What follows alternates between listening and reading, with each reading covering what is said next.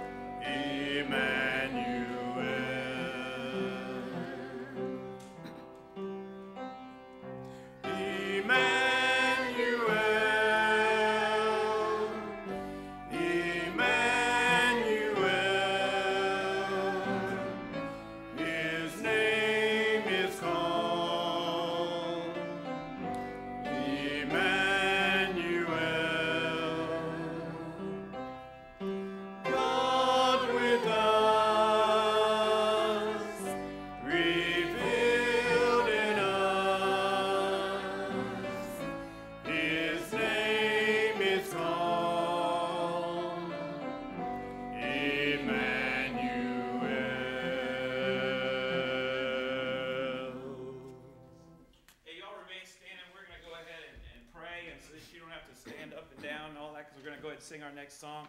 Uh, just uh, remain standing for our opening prayer. Let's pray together. Lord God, it's a great thing that we can come in, in here and lift, lift in here together today and lift your name up on high. That name, Emmanuel, God with us. And we thank you for this Christmas season, Father, and uh, and everything that it's nice to have the decorations and, and the music and the things that, that get us thinking about Christmas because we realize when we're thinking about Christmas, we're thinking about the miracle of your birth, the miracle of your first coming and what you came here to do for us, Lord. And so we pray that you would just impress upon us the preciousness of this season. Every Sunday is special uh, when we gather together with God's people in the Lord's house, but it, it, is, it is a special season, God, and we just pray that you'll use all these things that we plan in the body of this service uh, to help us reflect upon what a great thing it is that God came to be with us in the form of Jesus Christ, the Christ child.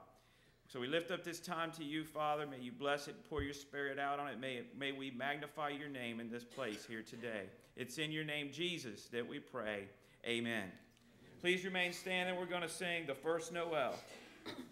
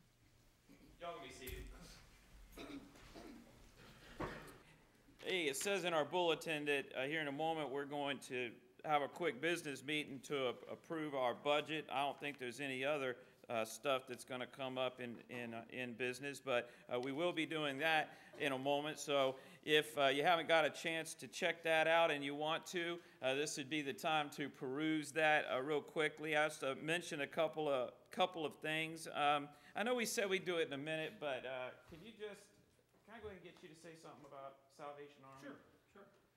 Uh, don't forget, Salvation Army, the bell ringing is this Thursday the ninth, and I think that day is full.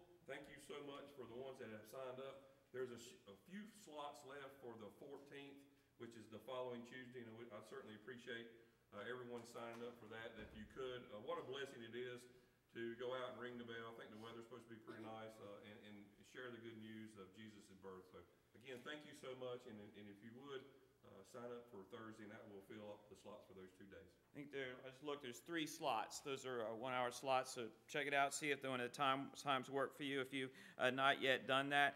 I want to keep in mind that we are now starting uh, for the month of December for our Lottie Moon uh, Christmas offering. It goes to support the International Mission Board of the Southern Baptist Convention. It's one of the most important offerings of the year. They're all important, but of course, it's a very important one as we seek to spread the gospel of Jesus Christ around the world, and that goes directly to support missionaries in the field. Uh, in countries where it's uh, friendly to be a Christian, and in countries where uh, they have to be very, very creative because they're in place. They are in places uh, like China or places in the Middle East where it's not as friendly to be Christians. But uh, we may not go there. Yeah, I may not personally ever go to China or ever go to to one of those countries in the Middle East, but we're going there uh, through our giving. So keep that in mind. Uh, also, know that we have these two uh, OCC warehouse mission trips coming up. Both are then coming up, I guess that would be this week.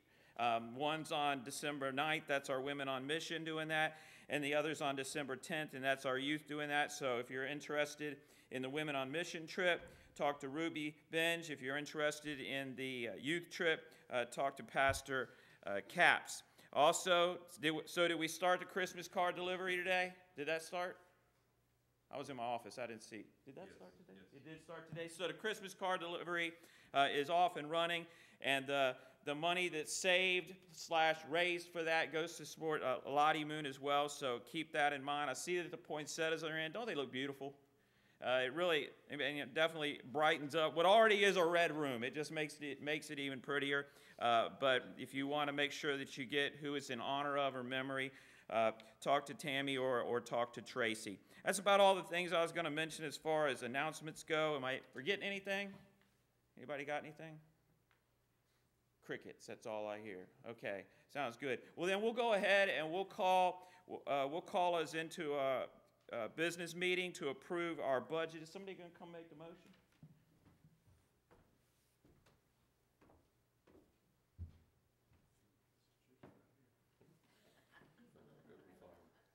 It's a tricky, yeah. As uh, the pastor mentioned, it is time to approve our budget for the upcoming year of 2022. I did want to mention a, a couple things about the budget. As you can see there, anything that has changed from the previous year is in bold.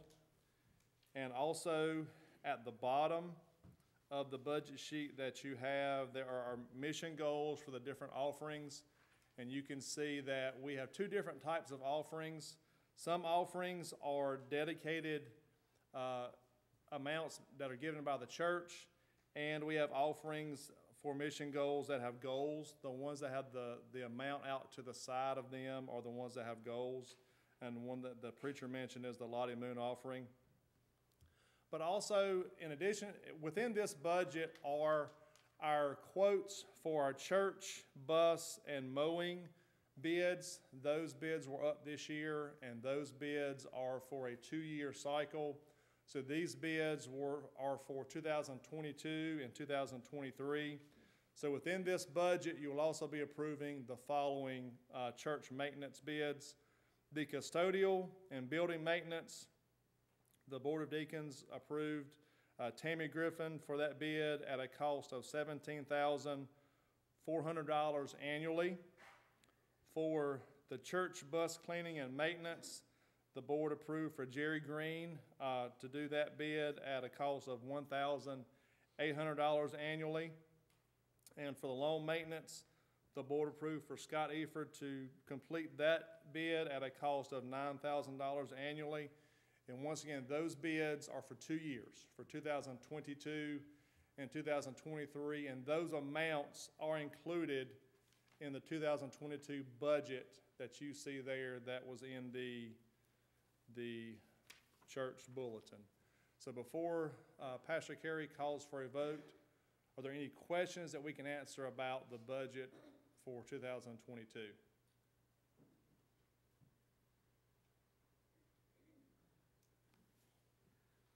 All right, so we got a motion on the floor to accept this budget as our, our 2022, and in the process, we're also approving those three bids because they are part of these uh, budgets. It's already been asked if there was any discussion, no questions were asked.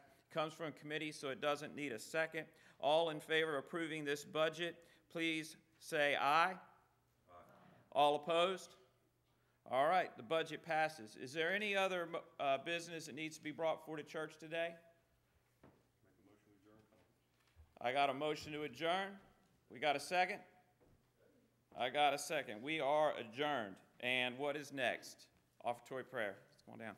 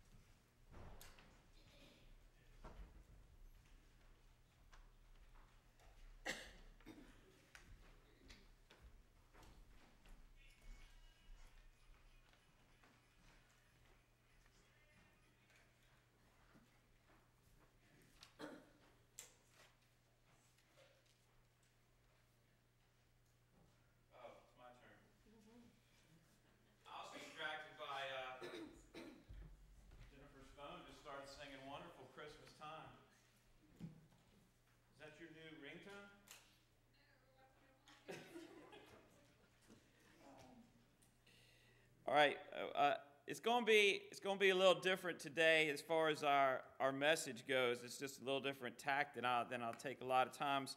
Uh, we're actually going to look at kind of like jump to three different parts. Before our scripture reading, I want to ask you to turn to Matthew chapter one.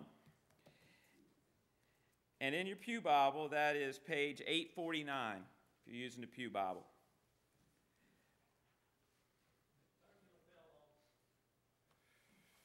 I'm not preaching yet. All right, I'll go ahead and do it.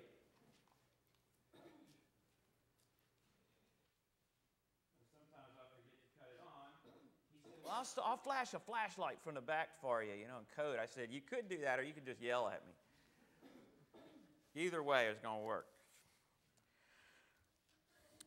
So on page 849, your Pew Bible, uh, Matthew chapter 1, and this would be our first scripture reading that's you know, going to bring in a part of the Christmas story. And that's very simply, we're, so we're going to have then four messages that are going to constitute just a very simple title, a series called The Christmas Story. We're going to look at different aspects of the Christmas story and, and why it's so powerful. Uh, one of the greatest stories, you know, if you, if you, I guess you could go with, you know, it's, it's Christmas and Easter. Those are the two greatest.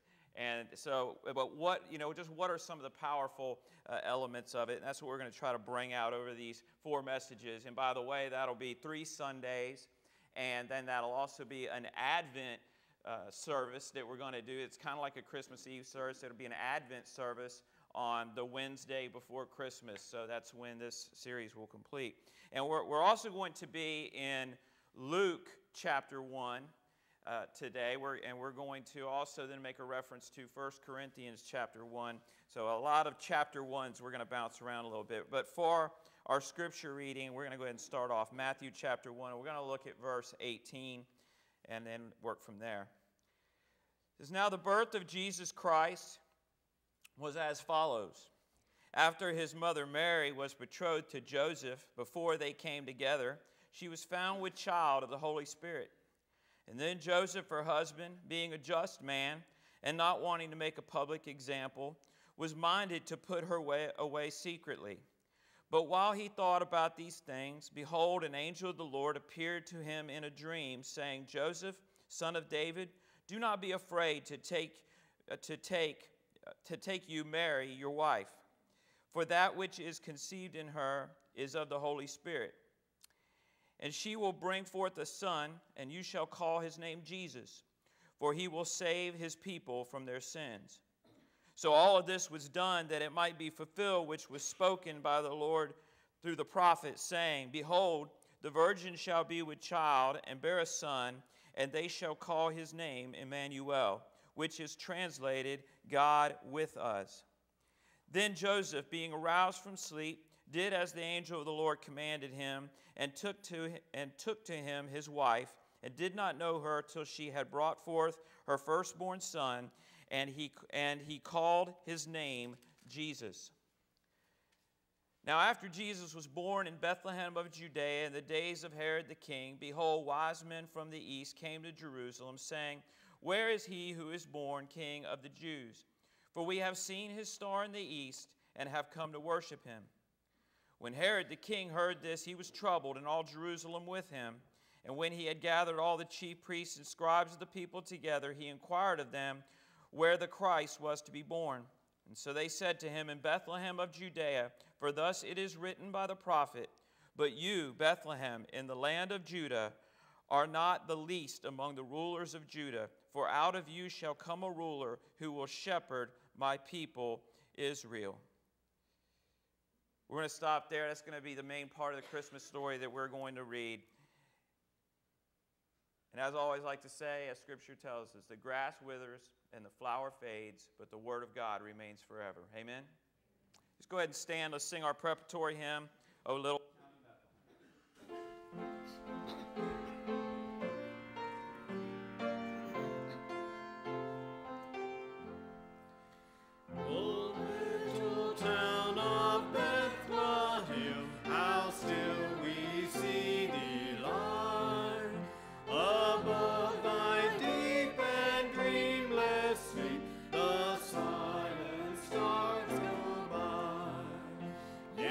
In thy dark street shineth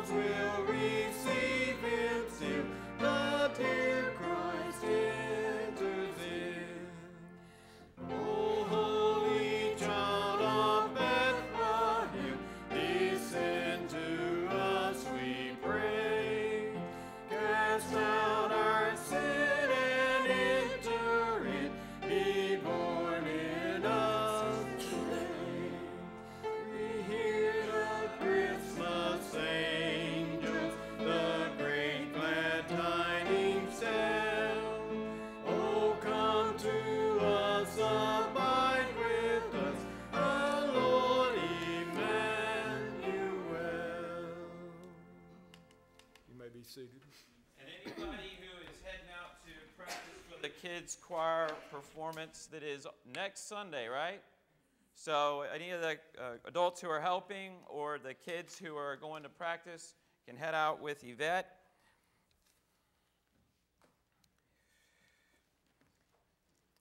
And so, there's a good plug right there for our kids' Christmas choir. Be here next Sunday, and that will be a significant part of our service. And then the next week is our adult choir, and they will uh, also uh, likewise. Then that's going to be a significant part of our service. Then in two weeks, can you believe that Christmas is already flying by? Is it just me? It is just me? No, I all agree. Okay, a few of it. It's like, wow, coming up quick. We sang about several elements of the Christmas story already today, and I know she, I know she's already out of here, but I'm gonna tell you, at this point, it's it's not even unique anymore. I know God leads Yvette in picking the songs because of how often there's a lot of times we don't even. You know, a lot of times we talk about the songs, but there's so many times that we end up singing when we don't and we end up still singing about the exact we sing about the exact things that are going to be highlighted in a message. And it's it's uncanny this time. We we sang uh, about just sang about bethlehem. And one, one we're going to talk about four major uh, subjects i guess you could say. Two of them are people uh, and uh, then one is a town. That's bethlehem. And we're going to talk about bethlehem in here. Did you notice that we ended on a verse that was talking about bethlehem then we went right into that. And then also the, the name Jesus, okay? And even some other names in there. The name Emmanuel. We started, had that song, you know, Emmanuel at the beginning of our service. And then our choir song was singing, you know, incorporating different songs that talk about the importance of the name of Jesus. And we're going to look at them, what I think is an, an interesting direction to come at Mary and Joseph and Bethlehem and the name Jesus also with Emmanuel. And it's going to be a lot of it from Matthew chapter 1, but we are going to then go over to, to Luke. I think it's chapter 1, or hope it's not chapter 2. I said it earlier. Yeah, it's going to be actually Luke. Such a long chapter. Yeah, still Luke chapter 1. Luke chapter 1 is a long chapter. But we're going to do it actually from an, what's going to be a little different perspective. I don't know if you've ever had in covering Christmas texts 1 Corinthians chapter 1 verses 26 through 29 come in. And if you can get over there in, in your Bible, it's basically you're trying to save three spots. Usually when I do that, I'll try to put verses up on the screen, but we're not, not doing that this time, so you're just going to have to, to jump around. And once again, in your Pew Bible, 1 Corinthians is on page 1013. So the Matthew text is 849, the Corinthians text is 1013, and the Luke text is going to be page 904 in your Pew Bible. Hear what the Word of God says in 1 Corinthians chapter 1, starting at verse 26. For you see your calling, brethren, that not many wise according to the flesh, not many mighty, not many noble are called. But God has chosen the foolish things of the world to put to shame the wise. And God has chosen the weak things of the world to put to shame the things which are mighty. And the base things of the world and the things which are debased, God has chosen, and the things which are not, to bring to nothing the things that are, that no flesh should glory in his presence. This is a text talking about how God uses very uncommon things, very or very very common things, very plain things. Uses terms like uh, foolish things, weak things, things that the world would put to shame, things which are even despised, base things, and these are the things He's going to use to do great things, to do incredible things. And I would submit to you that there are four things in the Christmas story that fit this description. One of them's Joseph. The other, and I'll explain it, all these. The other is the name Jesus. The other is the town of Bethlehem. And then the fourth one we'll look at, and you can find more in, in the Christmas story. We're going to look at four. And the other is Mary herself. So if you would now, you can keep your ribbon or whatever else there in that First Corinthians text in case we jump back there later. In fact, I know I'm going to want to bring up verse 26 again. But with that, look over at the book of Matthew from our scripture reading from earlier. We primarily want to look at what happened with Joseph between verses 19 and 20, and then we're going to kind of bring in verses 24 and 25. And what we see in Joseph is this God uses a good man to do a great thing.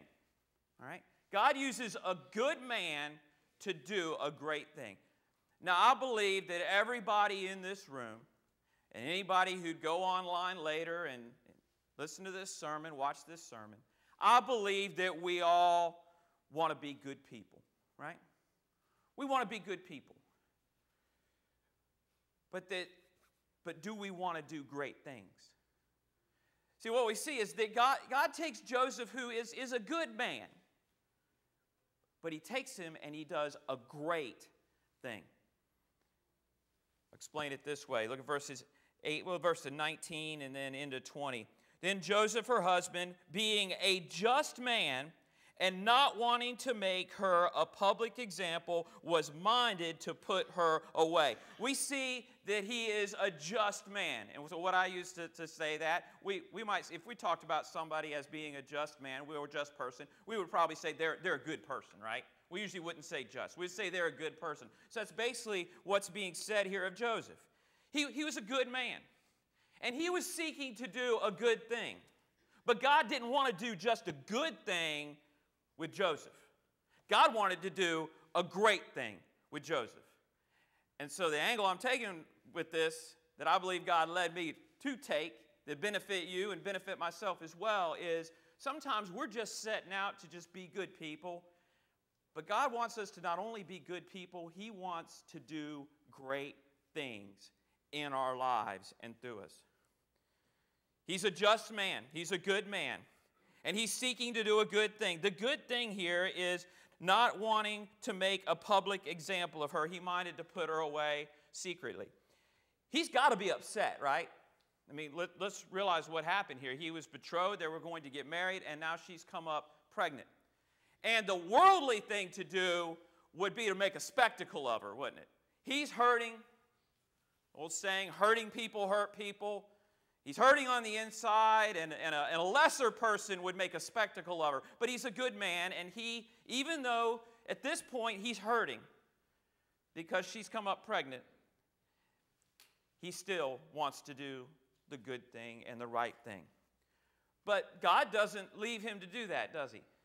God takes him so far as to do an incredible thing, a great thing. And instead, he does that great thing. We see in verse 20 that, Joseph is then visited by an angel of the Lord in a dream. And the angel says to Joseph in the dream, Joseph, son of David, do not be afraid to take to take to you Mary, your wife, for that which is conceived in her is born of the Holy Spirit. Instead of just doing the good thing, which, yeah, you should do the good thing, but God wants to a lot of times do the great thing. And I would submit to you as Christians, sometimes we stop at the good thing when God wants to do the great thing.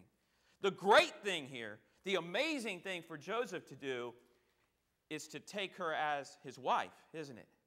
That's the really amazing thing. That's the incredible thing. That's the great thing. Instead, he does a great thing when he takes Mary as his wife. But in order to do that great thing, he has to, first of all, overcome something that stops a lot of us. He has to overcome his fear. He has to overcome the fear of what other people are going to say, of how he's going to look. You notice there that it says in the middle of that, Joseph, son of David, do not be afraid. Now, it's not do not be afraid that the angel is appearing to you in the dream. It's do not be afraid to do what? Do not be afraid to take Mary as your wife. Why would he be afraid? Because he might come under ridicule. That's why he might be afraid. So, what he did was he gets past his fear and he ends up trusting the Lord and relying on God. And the way we know that is because he very simply does what God tells him to do. There's a lot of things in Scripture that God tells us to do that we don't do because we're afraid, right? We're afraid. And we sit in the realm of being good people, which is a good thing, and the Lord will work and say, look and say, all right, you're a good person. But God doesn't just want you to be a good person. He wants you to be a good person who does great things. I love the role that the Holy Spirit is. He names this is something that the Holy Spirit's doing, Joseph, and you need to get on board with what the Holy Spirit is doing. And then we jump down to verses 24 and 25. It says, Then Joseph, waking up from the dream, that's being aroused from the dream, he wakes up. He did as the Lord commanded him. Very simply, in order for a good man to do a great thing, he needed to get past his fear and do what the Lord commanded him to do. Part of what the Lord commanded him to do was not only to marry, marry Mary, which he does, and that's the great thing that he does. Where'd the Christmas story go from there if he doesn't? But he does. But also, he was told something very specific. He was told what they were supposed to name the child. So it goes on, it says that Joseph, being aroused from sleep, did as the angel of the Lord commanded him. And you notice how I took out the angel part there because when he was doing what the angel commanded him, he knew he was doing what the Lord was commanding him through the angel. He did what the, Lord, the angel of the Lord commanded him, and he took to him, he took to him his wife he did not know her till she had brought forth her firstborn son, and he called his name Jesus. That's the second thing. The first thing is, is the first thing first is, is the person Joseph. That God used a good man to do great things. But also is this name Jesus. This name Jesus. And in terms of the name Jesus, And I just love the fact that so many of the songs we sang this morning highlighted Jesus' name. What we see in the name Jesus is also an example of what we read from 1 Corinthians chapter 1. Because in the name Jesus, God uses a common name for uncommon accomplishments. Explain it to you this way Jesus, and you know what? I'm going to go ahead and I'm going to read a little bit text, and then, and then I'll tell you. We want to look here, verses 21 through 23. She will bring forth a son, and you shall call his name Jesus. For he will save his people from their sins. So all this was done that it might be fulfilled, which was spoken by the Lord through the prophet, saying, Behold, the virgin shall be with child and bear a son, and they shall call his name Emmanuel, which is translated God with us. What kind of gets lost sometimes in the story is that Jesus is the common name. Well, maybe we say, yeah, the common form of the name Joshua which is also Yeshua. In Hebrew, Joshua is Yeshua. And Yeshua means Yahweh saves. And when he's naming him Jesus, what this is, is this is the common form of that name. It's a common name at this point. It's not a special name. It's very common. He's, he's giving him a common name, but he's giving him a common name that's going to be used for uncommon accomplishments. Think about this that common form of the name Joshua, the name Yeshua, that common form changed the world. That common name, a name that was common in their day, changed the world. God would use a seemingly common child, seemingly, with a seemingly common name like Jesus, to fulfill the words of the prophets here. And this is very important. You'll call him name Jesus because he's going to be the fulfillment you see right there in verse 22. He's going to be the fulfillment of what the prophets have said. Now, what the prophets have said is no common thing. What the prophets have said is a big deal. And this is named twice here, two real sides of this.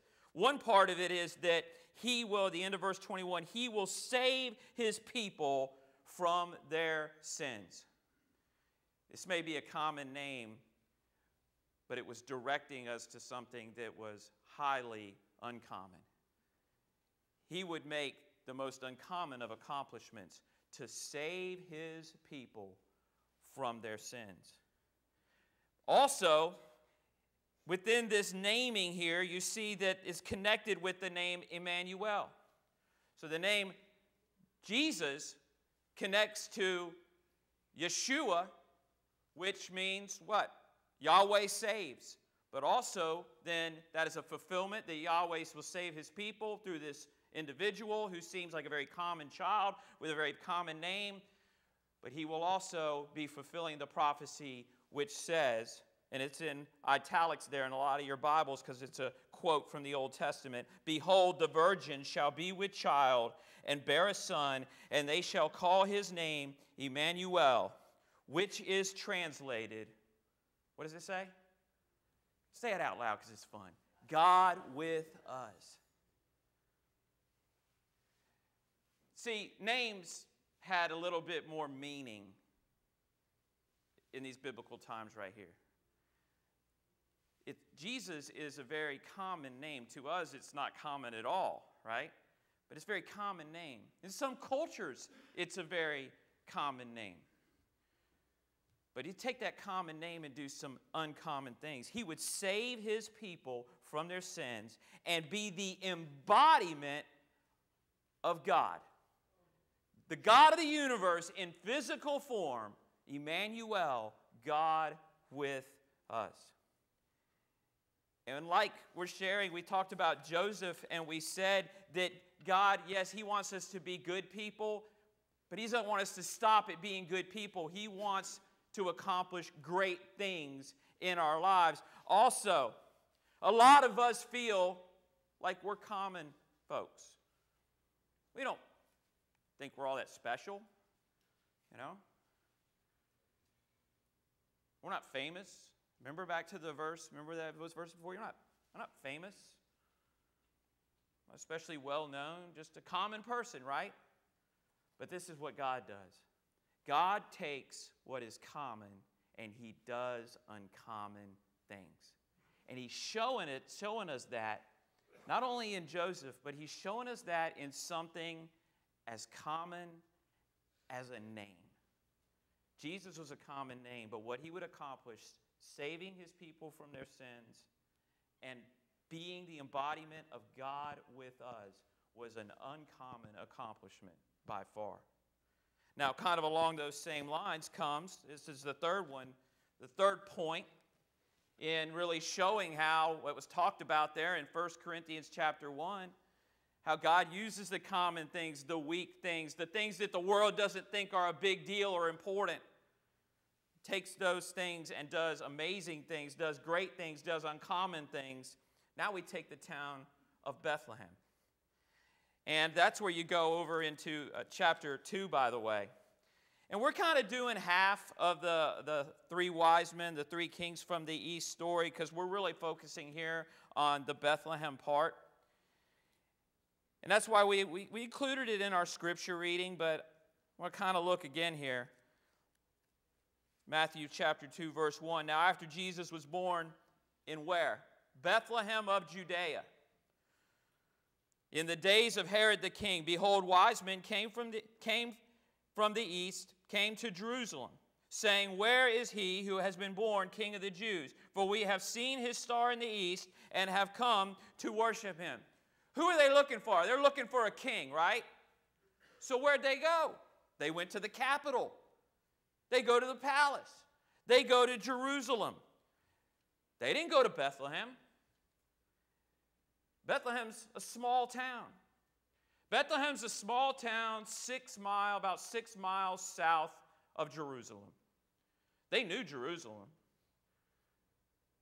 That's where you expect a king to be, right? But that's the way God works.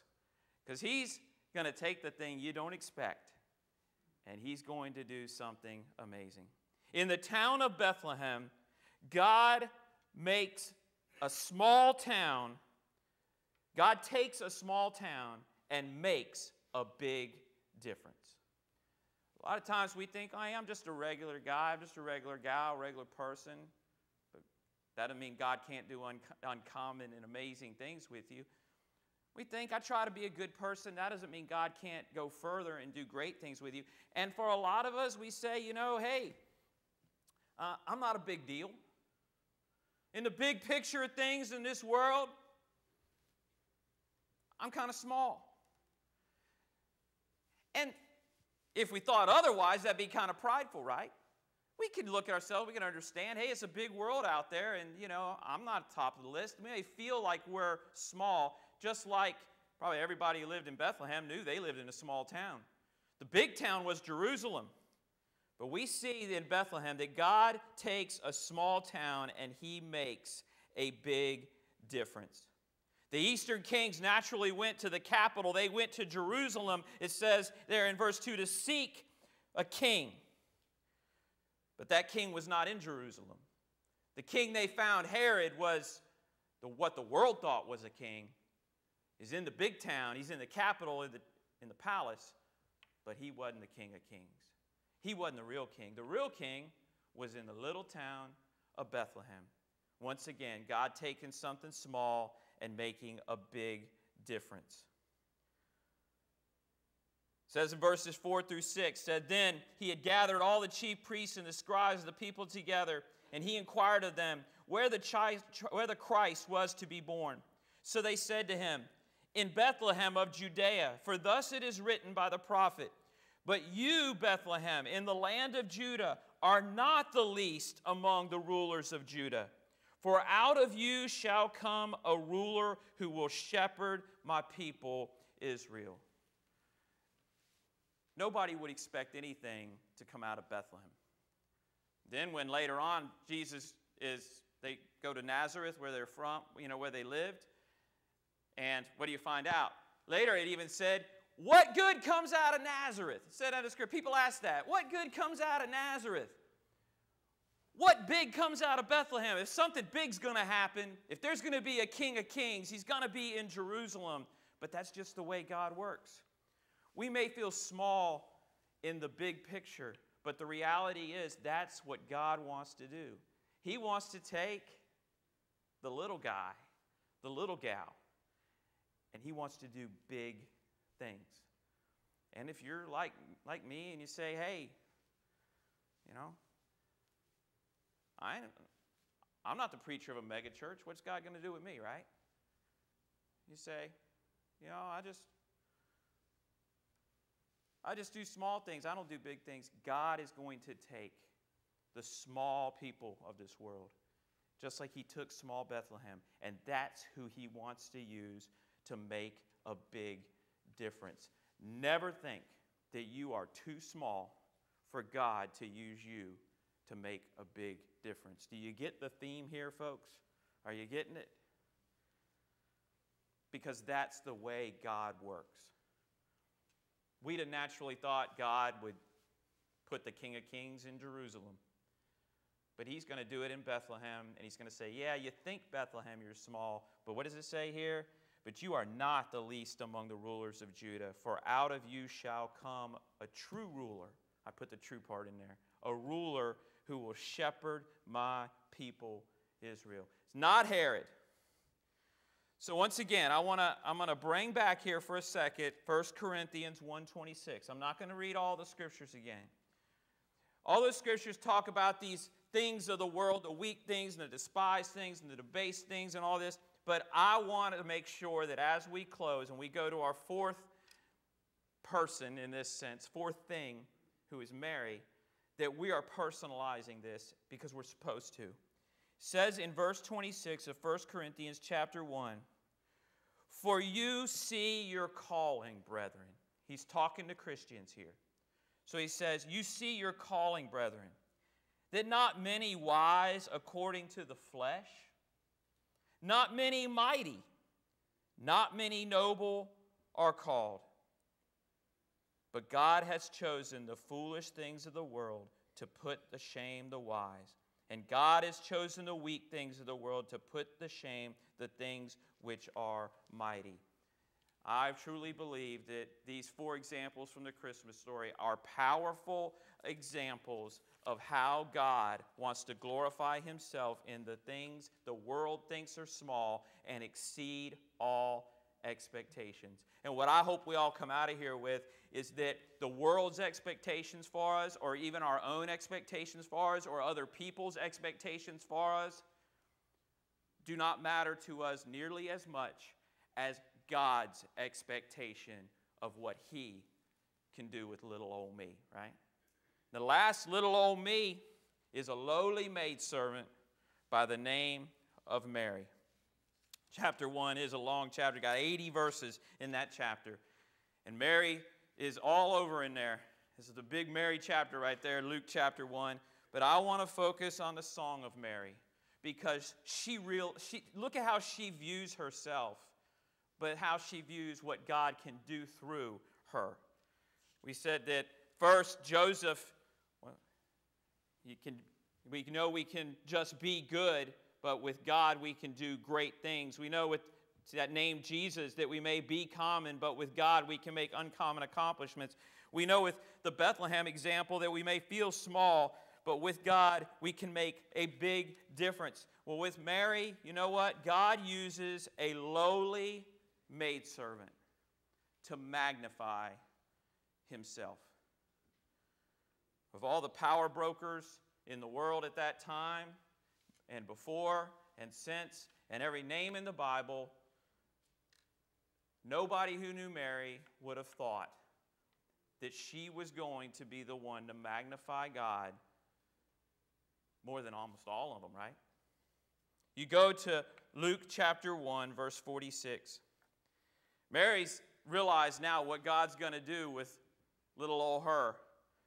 She calls herself a lowly maidservant But she realized that in an lowly maidservant, God will mag- is magnifying himself. By the way, this is it's often called, this song is called the Magnificat because it's about God, showing how God magnifies himself in this lowly maidservant. Verse 46 in Luke chapter 1, this is the last section of scripture we'll be in today. And Mary said, My soul magnifies the Lord. Why? Because she's a big deal in the world? Because she got a lot of money? Because she's got a lot of friends? Because she's really popular? No. No, she says, My soul magnifies the Lord, and my spirit has rejoiced in God my Savior, for he has regarded the lowly state of his maidservant. All right? A young girl in a world where young girls didn't have a lot of power.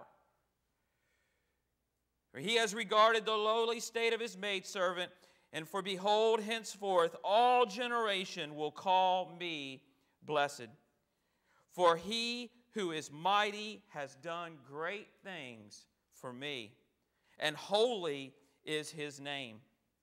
And his mercy is on those who fear him from generation to generation. And then listen to how listen to this discussion she has right there and, and see the subject matter we've been talking about and see that this is an example of also what's said in 1 Corinthians chapter 1. He has shown with he has shown strength with his arm. He scattered the proud in the imagination of their hearts. He has put down the mighty from their thrones and exalted instead the lowly. He has filled the hungry with good things, and the rich he has sent away empty. He has helped his servant Israel in remembrance of his mercy as he spoke to our fathers, to Abraham, and to his seed forever. The proud think they're all that. In the it says, in the, the proud in the imagination of their hearts. What they, um, how that great that they think they are, the imagination of their hearts, it says he has scattered them. Those who believe they are mighty with their thrones, he has put down. This is verse 52. And instead, he exalts the lowly. The rich who can get whatever they want, God sends them away empty. And he fills the hungry with good things. And all of this is different ways of her saying, What an incredible God that he would take this lowly maidservant and he would magnify himself in the eyes of the world. Mary is a young woman of no noble lineage, but she now sees that God uses those the world considers simple or small or common or lowly to magnify himself to accomplish his great purpose on earth. Neither of the people that we've looked at in this in the Christmas story today were of great reputation, but God did great things with them. The name given to Christ, that name Jesus, that now so resonates in our hearts and changed the world, was as common as the town of Bethlehem that he was born in. But God is all about using what the world considers common to accomplish uncommon and exponentially great things. Let us never think that something great's going to happen because we're great. Let us think that something great's going to happen because our God is great.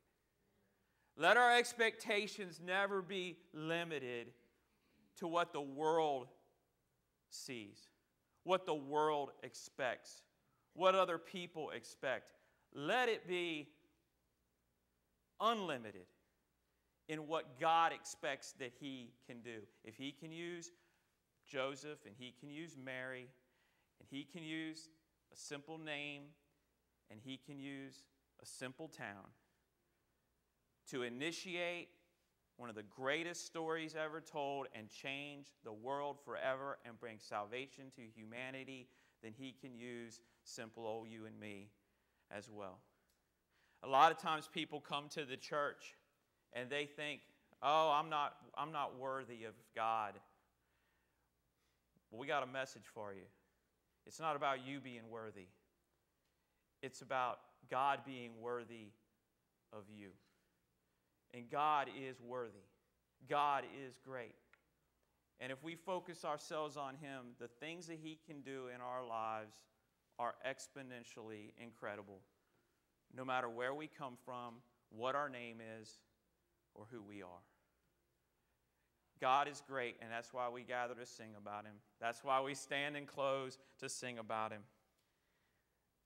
That's why we hear the call to be faithful. When we sing this song, we sing, Oh, come all ye faithful. It's kind of an invitation. And it's saying, you know what? I'm faithful to God because He takes lowly me, and through His Son, Jesus Christ, He does great things in my life, and He does great things through my life. I hope this has been a fun way to kick off Christmas for you. Maybe a little different take on a Christmas story. Maybe we got three other weird takes coming up. That'll be fun because God likes to take the weird and magnify Himself as well. I'm living proof. Let's stand. Let's sing, Oh, come, all ye faithful. If you got any reason to come down today,